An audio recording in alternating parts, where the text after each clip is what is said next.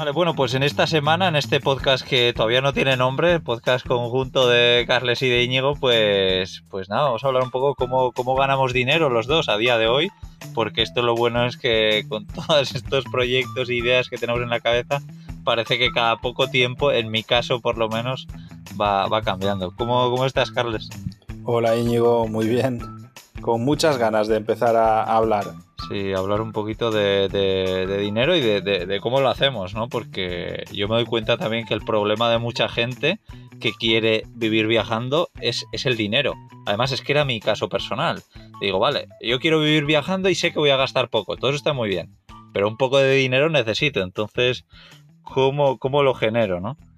Y, bueno, pues, pues creo que va a ayudar a toda esa gente que, que, está pensando eso para que coja algunas ideas de, de, por lo menos lo que a nosotros nos está funcionando ahora mismo en 2020. Sí, además, porque yo creo que es como un tema muy tabú, ¿no? La gente, como que hay personas que tienen la creencia que ven mal ganar dinero, ¿no? Y no sé, como que es algo negativo. Yo cuando me he encontrado con grandes viajeros, personas que vienen viajando y que todo el mundo se tiene que ganar la vida de alguna manera.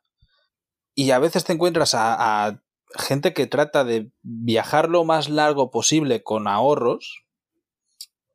Y me he encontrado muchas veces una especie de aire de superioridad, ¿no? De que como, no sé, que no sé cómo decírtelo, como que te mira por encima de la espalda porque tú estás ganando dinero y ellos no, y dices, joder, pero es que yo creo que es lo opuesto, pero bueno, tampoco sería una cosa de superioridad no, sino sencillamente decir que es que la gracia de ganar dinero mientras estás viajando es que puedes llegar a perpetuarlo y a hacerlo sostenible, ¿no? A, sencillamente llevar una vida que sea sostenible. Y además se da el caso con la mayoría de personas que he conocido que cada vez que eh, viajas más, ganas más. Yo, en mi caso personal, es increíble. O sea, de cuando empecé con esto, a vivir viajando 100%, de decir, vale, ya está, no tengo nada físico y me dedico a viajar, pues he triplicado a lo mejor el ingreso que, tienen los proyectos. Y mientras tanto, eh, no sé cuántos países he recorrido, no sé, más de 40. Eh, mm, sigo sin tener casa, trabajo únicamente online y me dedico a, a, mis cosas, ¿no? No, no sé, es como que te enriquece el, el hecho de estar viajando y, te ayuda o a tener nuevas ideas o a mejorar en tu trabajo o incluso a que te conozca más gente porque tienes un discurso más coherente con lo que estás haciendo, ¿no? Sí, sí, no, me, gusta esa idea de que efectivamente tienes un discurso pues que va más acorde a lo que a, de, lo que tú estás hablando, ¿no? Pero bueno, yo creo que también entra mucho el factor del tiempo. Eh, no, es solo igual porque estás viajando más, sino porque pasa el tiempo y tú conoces más cosas, pones en marcha cosas diferentes y, bueno, yo, yo, creo que es un poco más, más por eso. Y, no sé en tu caso, pero, pero en mi caso, por ejemplo, lo que ha pasado es casi más al revés, que, que yo cada vez viajo menos, o viajo, no viajo menos, sino que viajo más despacio. Cuando empecé con esta opción de poder vivir viajando, me iba moviendo continuamente en cambio, a día de hoy es como que me gusta más pues estar más tiempo en los lugares. Eh. Sí, supongo que en algún momento se te pasa la prisa, ¿no? Porque te das cuenta de que es una realidad, que puedes vivir así hasta el tiempo que tú decidas, o incluso tomarte pausas y luego volver a hacerlo, pero que no necesitas conocer tanto.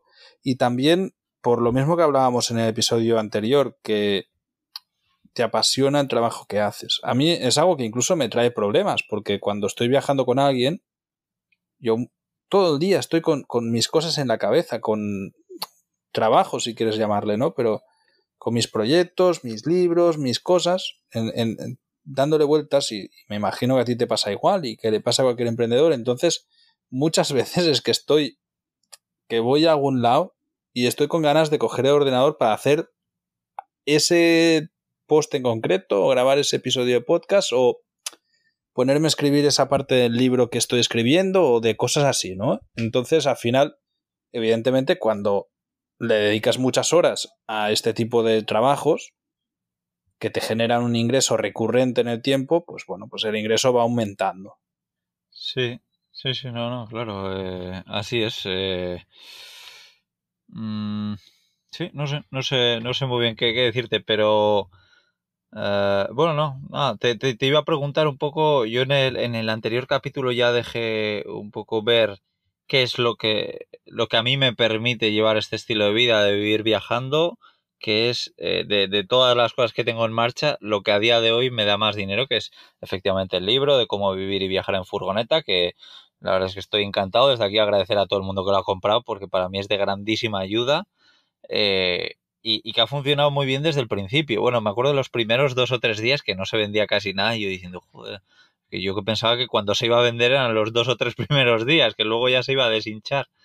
Pero, pero no, la verdad es que tardó un poco, pero luego cogió un poco de, fuerza y, y bueno, yo creo que también a mí esto personalmente me ha funcionado porque, bueno, tengo un podcast donde hablo de viajar en furgoneta y, y, yo creo que el marketing también que hago del libro dentro del podcast, pues, pues es, es un poco, es bastante sincero, es decir, oye, pues oye, yo, yo tengo este libro y si crees que te puede ayudar todo esto que yo sé, pues puedes comprar el libro y lo intento decir en cada, en cada capítulo, ¿no? Pero... Qué, curioso eso, porque en mi caso fue lo opuesto. Pero, y ahora estoy haciendo el análisis de por qué fue así. Yo, mi libro tuvo el mayor pico de ventas en pre-lanzamiento, antes de lanzarlo, y en los primeros tres días de lanzarlo, ¿no?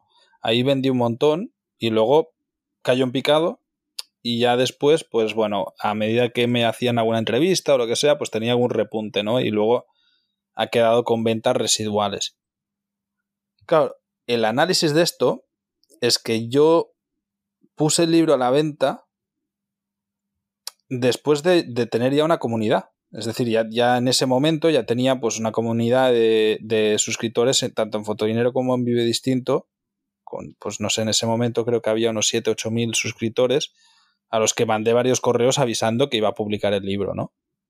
Y compraba en preventa. En cambio, en tu caso fue publicar, no vender y empezar a moverlo y vender. Y a lo mejor eso mismo es lo que hizo que tu estrategia a largo, tiempo, a largo plazo sea mejor que la mía. Aunque yo a lo mejor arrancase con mucha más fuerza, ¿no? Porque pues tenía músculo de, al inicio, mi estrategia únicamente fue ese lanzamiento. Y después, pues he ido mencionando algún día que tengo un libro escrito que se llama La vida que yo quiero, pero sin más, no le doy ni bombo ni trato de hacer una venta activa, mientras que tú sí que has hecho esa venta activa constante y eso ha hecho que poco a poco la pelota se vaya haciendo mayor y que la gente termine comprando tu libro, ¿no? Entonces, claro, fíjate ahora tú que estás viviendo casi casi de tu libro y es una fuente de ingresos importante para ti, mientras que yo, el libro tiene cuatro ventas al mes, digo cuatro por poner un número, ¿eh? no sé cuántas tiene realmente, pero tiene ventas residuales que a mí no me dan un carajo, que bueno, pues, pues está ahí y sí, vale, veo que cada vez hay alguna reseña más, pero no es una fuente de ingresos ni siquiera que tenga en mente. Curioso, ¿eh? No, a lo mejor, lo, digo clarísimo, la estrategia buena es la de Íñigo. Si tenéis que hacer un libro y venderlo, haced lo que hizo él. Machacata a... la gente con ese libro. Sí, a mí, yo creo que lo, que me pasó es que, claro, yo estaba haciendo el podcast de Viajando Simple donde hablo sobre viajar en furgoneta y entrevisto a gente que viaja en furgoneta. Y, y bueno, yo sabía que el podcast era una muy buena herramienta de, de, marketing para vender un producto. Yo no estaba buscando patrocinadores porque no me parecía el momento según había empezado, pero digo, oye, ya que no tengo, nadie me está pagando por, por patrocinar ningún producto en el podcast, pues digo, oye, pues, pues hago publicidad de, de lo que yo tengo, ¿no? Y efectivamente yo creo que eso es, es lo ideal, el, patrocinar un producto tuyo mucho más que el de otra empresa en la que no crees tanto. Y luego también yo creo que son, claro, tu libro y el mío son dos, dos cosas diferentes. Yo en el podcast estoy explicando mis trucos para viajar en furgoneta de, de, de, forma más cómoda o bueno, yo comparto esos trucos y en el libro también hablo un poco de, de cómo hacer esto posible. Entonces es como que está muy, muy ligado. Claro. Eh, sí, sí, no, yo, yo en el mío, en el podcast de Nómada Digital, en el de fotografía stock, hablamos nada de libro, evidentemente, es sobre fotografía de stock, y en el de Nómada Digital tampoco va tan ligado, te voy a dar la razón. Pues bueno, muy, muy curioso. Si tu libro fuese Cómo ser nómada digital, y tú tienes el podcast donde explicas cómo es tu vida siendo nómada digital, yo creo que haciendo publicidad activa en todos los capítulos, pues probablemente te estaría funcionando mejor, ¿no? Pues sí, totalmente de acuerdo. No, esto a lo mejor va a ser un spoiler, pero es algo que está ya en el horno, ¿vale? qué bien, qué bien. Bueno, eh, pues eso. Aparte del libro, pues tienes eh, Patreon, ¿no? Has dicho la, una membresía de comunidad donde, bueno, pues te, pagan una mensualidad, ¿no? Por, cuéntanos un poco tú cómo funciona. Eso sí, bueno, hace, hace dos meses fue cuando dije, joder, es como que me apetece compartir más cosas, incluso igual hacer un otro podcast nuevo y tal, pero empecé a hacer cálculos y digo, joder, con la poca publicidad de pago que meto en los podcasts y tal, o sea, hice números y dije, no me sale rentable. Eh, hice cálculos y creo que la hora de trabajo del podcast me salía con los pocos patrocinadores que había encontrado, eh, que habían sido seis, en seis episodios de 100, eh, pues creo que estaba ganando unos dos, dos euros la hora. Vale, o sea que nada. Entonces digo, joder, ponerme a hacer más horas y, seguir sin patrocinadores no es sostenible. Entonces dije, joder, pues igual esto de Patreon, que es una empresa que siempre me ha llamado la atención y me, me, gusta mucho el, el, proyecto, el creador y todo, pues digo, oye, pues igual puede funcionar que los que patrocinen los capítulos sean los propios oyentes, que muchas veces pues noto en el feedback de que la gente es como que quiere apoyar mi trabajo y me quiere echar un cable. Claro, pero yo pues simplemente el dejar donaciones abiertas no lo veía. Entonces yo dije, bueno, pues en Patreon lo que hago es ofrecerles un podcast extra más personal. Eh, también me grabo en vídeo un poco con mi día a día y tal. Grabo vídeos pues de vez en cuando.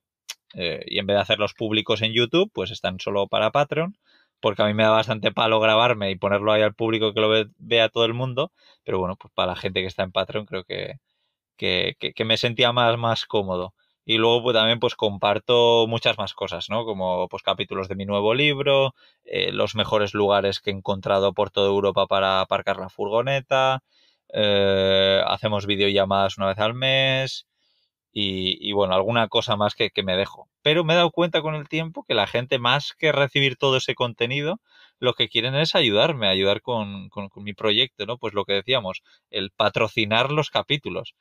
Porque me, hizo mucha gracia alguien que está en Patreon que me decía, joder, pero si es que ser eh, Patreon tuyo es un trabajo a jornada completa haces tantas cosas que, que, como que necesito mucho tiempo para, para consumir todo lo que estás generando. ¿no? y nada, me, hizo mucha gracia. Pero sí, Patreon para mí es una plataforma muy guay y que la empecé hace nada, dos meses y pico y, bueno, pues ya tengo más de 40 miembros y, estoy muy, muy contento y creo que a la gente le está gustando, así que, que nada, me, me encanta, sí, sí, estoy muy, muy contento, sí. Qué bien. Pues bueno, eh, hablo un poco de mis fuentes de ingresos, si te parece. Sí, sí, yo, yo he empezado, si quieres, un poco con lo que más dinero me genera. No sé si tú quieres empezar así o... Pues no? lo iba a hacer distinto, porque en mi caso, o sea, mm, hay dos distinciones diferentes. Una cosa soy yo personal y la otra es yo empresa. Porque evidentemente, pues, o sea, ahora lo explico. Mira, lo que es yo personal, tengo diversificadas también las fuentes de ingresos y además de diferentes proyectos porque considero siempre he querido diversificar tanto como he podido. Por un lado, tengo ingresos de ventas de mis imágenes de fotografía stock, que esto es puramente yo personal, punto. Y ahí, pues con eso ahora mismo vuelvo a rozar el poder vivir de ello. Antes llegué a puntos en los que sí podía, pero tuve un problema de estrategia que fue que, que la mayoría de mi portfolio se dedicaba a Nicaragua y con el conflicto que tuvimos cayó el turismo, dejaron de comprar imágenes turísticas de Nicaragua a como se compraban antes y, de un día para otro vi caer las ventas en picado, ¿no? Y ha sido a través de dos añitos de trabajar en otra dirección que ahora ya lo he hecho otra vez sostenible. Eh, por otro lado está el tema de las hamacas, que aunque es de una fundación, a mí me queda un porcentaje de venta, por la gestión de, de, las, de las tiendas online y, y de los e-commerce y tal que tenemos. Y luego están los ingresos que mi empresa me da. Y los que me da mi empresa, lo que yo hago es que me asigno un sueldo anual, que es mi presupuesto como, como nómada digital.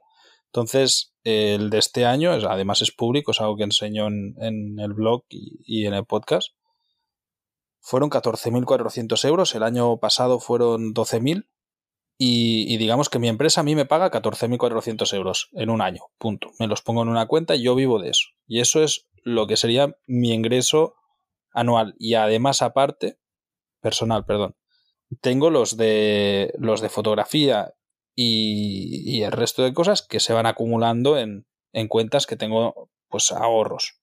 Y luego la empresa, pues aparte de pagarme a mí anualmente, pues paga mensualmente a la gente que trabaja en ella, que ahora mismo pues somos cinco personas trabajando de manera frecuente, bueno, frecuente, pues mes a mes eh, para la empresa. Y luego tenemos pues externos que hacen cosas que se les paga, pues bueno, pues como empresas que contratas que le tienes que pagar, ¿no? Perdona que te interrumpa. ¿Y la empresa de qué se compone? ¿De fotodinero, entiendo? Fotodinero y vive distinto. Vale. Esto sería lo que es la empresa. Luego tengo otros proyectos que también dan dinero, pero que ya son externos, ¿no? Pues a lo mejor el de Club Nómada, ahí pues tengo socios.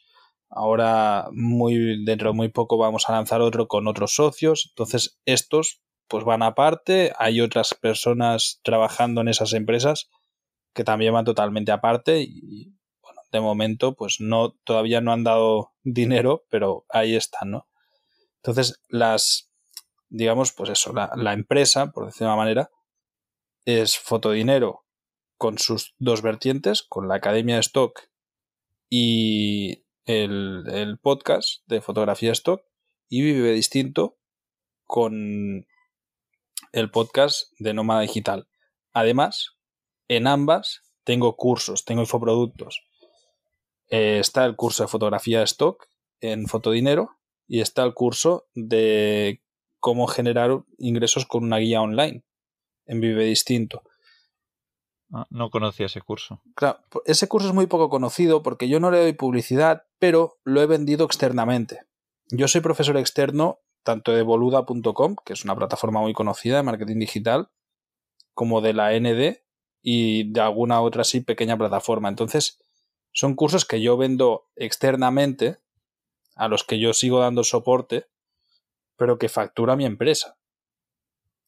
Y luego, yeah. pues el, en Fotodinero, pues además del curso de fotografía stock, tenemos también el curso de, de vídeo, que sí que vendemos nosotros directamente. Ahora también estamos sacando un tercer curso y este año pues la programación es sacar seis cursos más para poder complementar todo lo que necesitaría estudiar un, alguien que quiere dedicarse de manera profesional de verdad a esto, ¿no?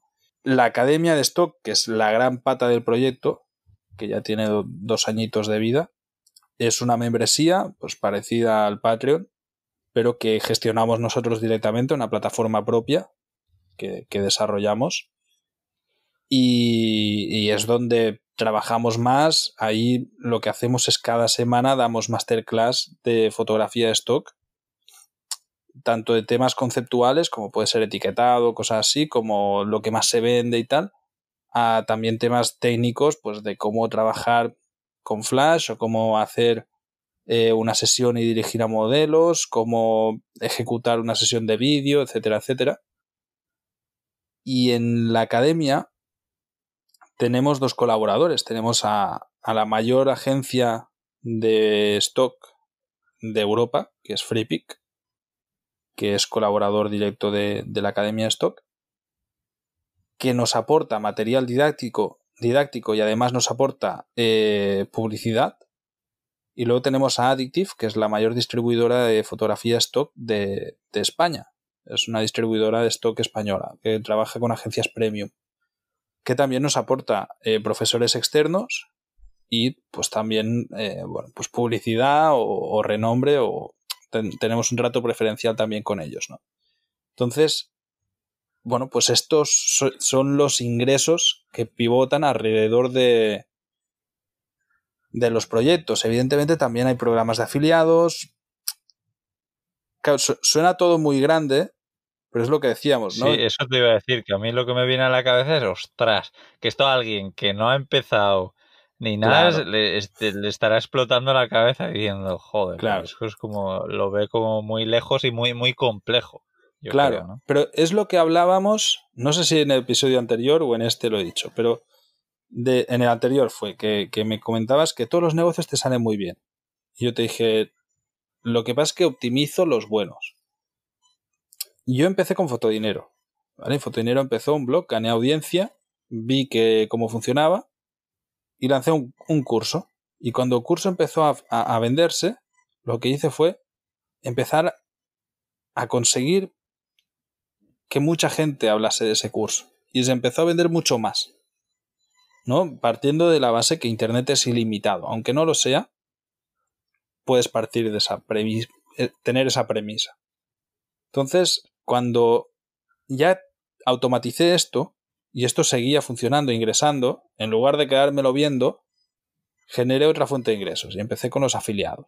Y dije, vale, voy a hacer afiliados. Y pum, pum, pum, pum, pum. Y lo automaticé. Luego empecé a dar cursos externos, porque me vinieron a buscar a mí. Me ofrecieron, oye, ¿quieres dar un curso externo? ¿Cuánto cobras? Le puse tal. Me pareció bien, me aceptaron el precio, pues he hecho varios cursos externos cuando me ha apetecido porque te lo pagan y sobre todo pues te da más visibilidad y tal. Y poco a poco pues ha ido creciendo, digamos, ¿no? He ido como diversificando el mismo negocio para de nuevo no tener todos los huevos en la misma cesta, porque cualquier día puede pasar algo, no sé. Y luego porque puedes llegar a delegar mucho partes de tu negocio si las tratas como negocios propiamente. Esto, por ejemplo, cuando, cuando monté la guía online, ¿vale? La, la guía de Travega en Nicaragua, que era una guía en la que yo iba a hacer físicamente visitas a, hoteles y turoperadores y restaurantes y tal. En total dábamos publicidad a 500 hoteles en, en todo Nicaragua. Y yo les tenía que visitar tres veces al año a todos, porque ahí no existe la domiciliación bancaria y no tenía tiempo para hacer más visitas ni hacer nuevos clientes apenas, o sea, era eso, estaba como estancado y, le di vueltas a cabeza y dije, oye, ¿cómo puedo hacer de esta misma gente con la misma visita ganar más dinero? Y ofrecí dos cosas. Por un lado, ofrecimos diseño de páginas web, que lo hacían externos, y por otro lado, ofrecíamos un producto que en ese momento en el país no había apenas, postales turísticas. Imprimí la primera vez 18.000 postales turísticas. Mil, unidades, mil unidades de 18 postales diferentes. A la semana está imprimiendo 56.000, pero es que en menos de un año vendí 220.000. Y al final, las postales, que era una chorrada, que no me costaba nada de esfuerzo, generaban casi casi tanto dinero como el resto del negocio, ¿no? Entonces, esto lo puedes aplicar a todos los negocios online y decir, oye, si ya tienes esto, pues montas, hay que trabajar, evidentemente, pero creas esto y a lo mejor con el mismo esfuerzo que tú estás haciendo, ahora, aunque hayas tenido un esfuerzo previo de hacer las fotos, generar las postales, que es un cacao tal, pero luego en la misma visita que yo ganaba 100 dólares por ese cliente, por decirlo de una manera, vendiéndole las postales y la página web, en el mismo casi casi tiempo saca 500. Pero es que como él ganaba más dinero todavía, estaba más contento. Y claro, que duplicas tu negocio con el mismo esfuerzo. Y digitalmente es todavía más exagerado esto, porque es mucho más fácil de gestionarlo. Porque puedes automatizar cosas. Puedes tener robots que trabajan para ti y delegar a otras personas. Entonces, básicamente, pues lo que he contado, que es un macronegocio, por decirlo de una manera, ¿no? que hay muchas cosas a la vez, es el fruto de años de ir automatizando pequeñas partes que las vas creando y explotar más grandes las que ves que pueden desarrollarse más. Sí, claro, a mí sí me, parece muy buena técnica y, y luego me, me, encanta eso, pues que efectivamente lo que más casi cuesta es encontrar los clientes, ¿no? Y claro, pues dices, jo, pues ya que lo he encontrado, pues vamos a, sacarle chicha. sea que... Exactamente, ese es el punto, ¿no? o sea, mira, por ejemplo, nosotros ahora estamos lanzando más cursos en, en Fotodinero. ¿Por qué? Porque ya tenemos una audiencia. Y porque cada mes la audiencia crece de la misma forma. Entonces, al, a la audiencia, si le vendo un curso, le vendo dos, el resultado es el mismo para ellos. Al revés, si les vendes dos cursos a buen precio y que los dos funcionan, pues de puta madre, a lo mejor te compran los dos. Pero es que el retorno que tú tienes de, la, de, de, eh, pues económico de esa audiencia puede doblarse. Y eso sí que en ese momento me ha supuesto un montón de trabajo la creación de este nuevo curso, pero una vez ya lo tengo, puedo llegar a automatizarlo y, y con el mismo esfuerzo con el que yo ahora estoy creciendo al mismo ritmo, crezco igual, pero económicamente la línea se dobla. Claro. Y ahí está donde, pues eso. sí, ¿no? buenísimo. Y además esto es algo que yo he aprendido como hace poco, ¿no? Eh, yo creo que lo leí en algún sitio, lo escuchaba efectivamente de eso, de, de, del poder aprovechar cuando ya captas a un cliente. Y, y, en mi caso personal yo me he dado cuenta pues que a mí mucha gente me conoce por todo el tema de las furgonetas camper, porque es en lo que yo más experiencia tengo, el podcast de Viajando Simple pues tiene un montón de audiencia y, y, efectivamente yo los proyectos que tengo y que me apetece poner en marcha son un poco relacionados con el tema de las furgonetas camper, porque bueno, pues ya que tengo esta audiencia, pues vamos a aprovecharla y, y vamos a ver si están interesados en mis futuros proyectos. En, en tu caso, Íñigo, yo lo veo muy fácil. O sea, si tú lo piensas, si ¿qué te costaría en lugar de promocionar un libro como haces ahora, promocionar dos? Decir, oye, es que he escrito dos libros relacionados entre sí, de temas paralelos. el, el, esfuerzo para ti es casi casi es que prácticamente es el mismo. Pero claro, los ingresos pueden, pueden duplicarse. El problema que tiene un libro es que, claro, una persona, una vez se la ha comprado, raramente va a comprar dos, porque ya se lo ha leído y ya está, o como mucho ha comprado otro para regalarlo. Pero, en cambio, claro, si, si tú vas sacando libros y a esa persona le mola lo que tú escribes, pues te van a ir comprando los mismos que tú vayas haciendo. Evidentemente tiene un coste para ti ahora, que es escribir ese segundo libro. Pero en el futuro te vas a encontrar en la misma situación que estás ahora con más ingresos. ¿No? Pues un poco yo creo que es esa la filosofía de, de negocio. Sí. Sí, sí, ah, totalmente de acuerdo, nada, nada que objetar. Eh, sí, lo, lo, que quiero dejar eh, decir también es que, bueno, pues que para mucha gente que todo esto, pues sobre todo lo que has contado tú, que le suene como muy grande y muy complejo, pues también decir eso, pues que en, en el otro punto estoy yo, que estoy vendiendo un simple libro, que ahora estoy con Patreon y luego también otras pequeñas cosas que me dan dinero, pues puede ser la afiliación de Amazon, que bueno, pues hay meses que me da más, meses que me da menos. No es mucho dinero, pero bueno, todo, todo suma. Y, y, al final eso, lo bueno es que cuando tienes una audiencia que venga de donde venga, que te puede venir porque tienes una lista de correos, porque tienes una red social concreta que te funciona muy bien, o un podcast o un canal de YouTube o lo que sea, pues, pues esa audiencia, si tú le, le, le dices, oye, pues tengo, yo que sé, mis como es mi caso, mis productos favoritos para furgonetas camper aquí de Amazon, pues oye, si los compra, tú te llevas una pequeña comisión y es algo muy, muy fácil de hacer. Uh -huh. y, y, bueno, luego lo mismo con un podcast o un canal de YouTube o cualquier cosa que atraiga audiencia, tú puedes eh, poner publicidad, que es otra de las formas con las que yo, yo gano dinero, ¿no? El, el, el hablar de marcas normalmente son marcas que a mí me gustan mucho, yo intento hacer eso de, de, oye, de anunciar productos que, que, que, yo hablaría a mis amigos. Bueno, es que, es que así lo he hecho. O sea, yo estaba hablando con mis amigos, hablando de cosas, me dice, pero a ti te paga esa marca para que me la vendas? Y yo, no, no, no. Y entonces luego digo, joder, tengo que contactar a esa marca para, para decirle, oye, igual te claro. interesa que, que, te promocione en mi, en mi podcast, ¿no? Y así es como he llegado a algunas, algunas colaboraciones, de decir, oye, pues esta empresa que hace eh, energía solar y además por cada cosa que tú compras le envían una luz solar a, a un país eh, como, bueno, a un lugar como en el Amazonas que utilizan luces de queroseno y tal, pues, pues ese tipo de empresas a mí me encantan, entonces creo que es fácil el, el, que ellos se interesen porque, porque tú puedas promocionarles sabiendo que a ti te gusta esa empresa. Y bueno, pues eso, yo simplemente quiero decir que, que, yo creo que todo lo que yo estoy haciendo ahora, pues para alguien que no tenga ni idea por dónde empezar, pues entiendo que le sonará más, más sencillo que todo lo que has expuesto tú. Seguro, seguro. Yo, y, y además no recomiendo a nadie que trate de hacer lo mismo que hago yo porque terminas loco. Pero sí que podéis hacer una parte y poco a poco, al final es... Eso es, paso a paso, como todo en la vida. Exactamente. Bueno, pues yo creo que están quedando unos episodios muy chulos. Íñigo, que, joder, son pequeños tips que en realidad pues ayudan mucho a desarrollar y, se aprende mucho.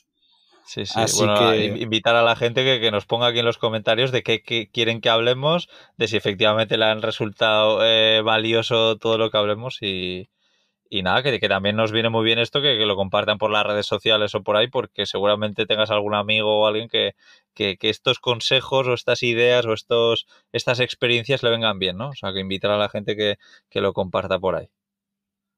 Vale, pues con esto, eh, ¿dónde nos encuentran en las redes, Íñigo? Sí, bueno, pues eh, a mí buscando cómo viajando simple o cómo otra viajar, estoy en prácticamente todas las redes sociales. A diferencia de, tu caso, ¿no? Que no estás en todos los sitios. Yo no estoy casi ninguno. Yo, a mí, solamente en Instagram, en arroba fotodinero.com y en Facebook, pues si me encontráis, vivedistinto.com o fotodinero.com. Sí, genial. Pues un placer, Íñigo, este segundo episodio. Yo creo que van a haber más. Y para la audiencia, mira, si queréis el próximo, lo hacemos de los comentarios que nos propongáis vosotros. Buenísimo. Muy bien. Hasta la próxima. Un abrazo. Chao. Chao.